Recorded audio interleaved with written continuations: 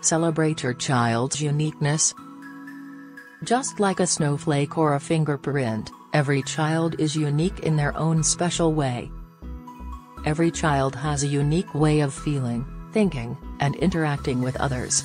Some children are shy, while others are outgoing, some are active. Some are calm, some are fretful, while others are easygoing. As a loving and nurturing parent, it's your job to encourage them to embrace their uniqueness and celebrate their individual qualities. Allow your child to express themselves through their interests. They may find a creative outlet in theater, dancing, or art, or they may be exceptionally talented in the sciences. Encourage them to embrace what they like to do, what interests them, and what makes them happy. Help them realize they don't need to worry about being like everyone else. Teach your child to make positive choices, and praise them for good deeds, behaviors, and positive traits they possess.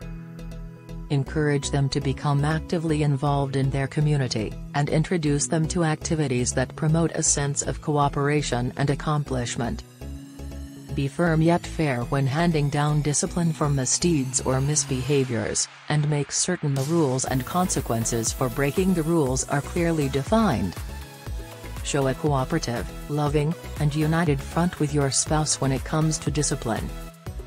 Accept and celebrate your child's uniqueness. Remember that your child is an individual. Allow your child to have their own personal preferences and feelings, which may be different from your own. And finally, encourage your child to be true to themselves by doing the same. Show your child how to make positive choices with the choices you make, and that nobody is perfect and you too make mistakes.